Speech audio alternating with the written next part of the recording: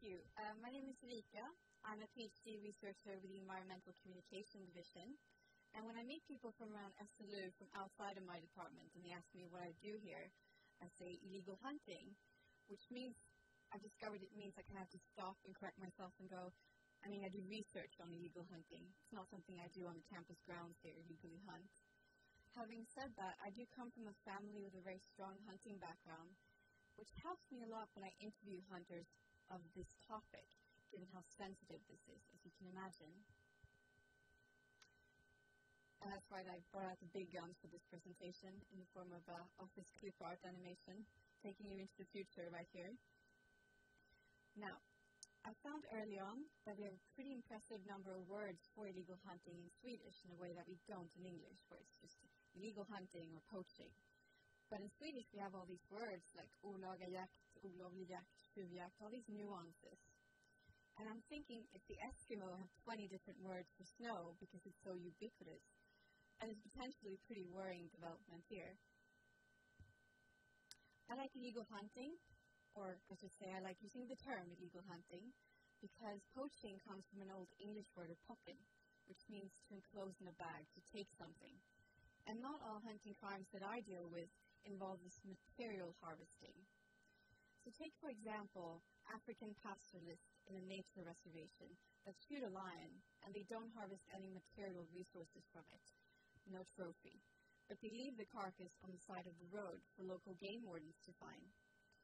And these sorts of crimes have communicative implications and political dimensions. They are, in part, an expression of dissent. Now, what do I mean by this? Well, our focus is on why some hunters feel that current regulation no longer corresponds with their moral norms or cultural practices, but are instead seen as these bureaucratic impositions from above, from the EU level, and from processes in which they've had no voice.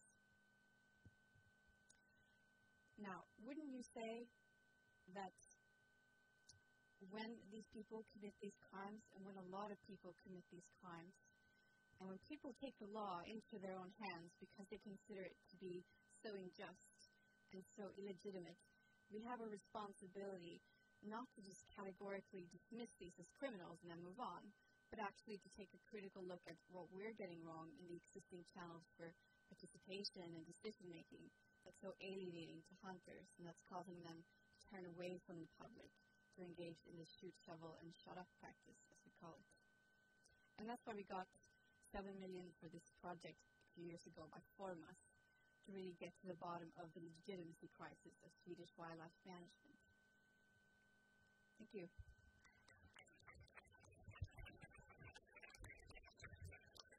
Good. Thank you, Erica. Uh, so, the jury, please. Yes, thank you. This was also a nice presentation. You seem to be relaxed when you talk, and you talk very good English and easy to, to understand. Uh, maybe the slides were may, um, maybe a little bit too much text for the average Swedish person to get it, and, and but uh, I think the message got through so, so, and that's the important thing. Once more, I, I agree with Anna. There's a little bit, little bit too much text on the slides. Uh,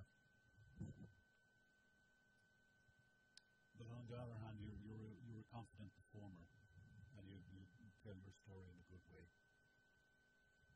Yeah, eh, yeah, definitely. It felt like you, you really had done your your like homework.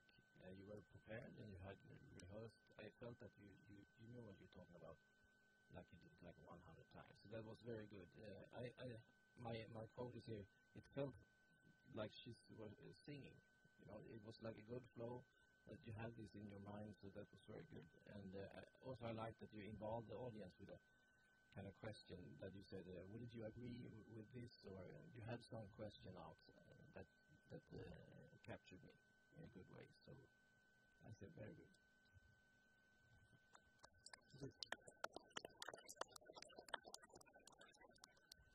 I can see that Magnus is doing his job, collecting well, mail boats or whatever we should call it. Uh, are you ready with your phones? Okay, so please uh, vote for uh, Emil Katanasan now.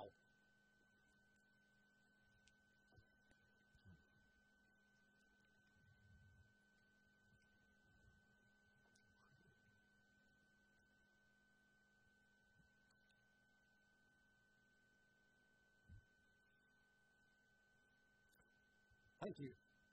Uh, Magni, it's all everything under control over there? Yes? Thank you.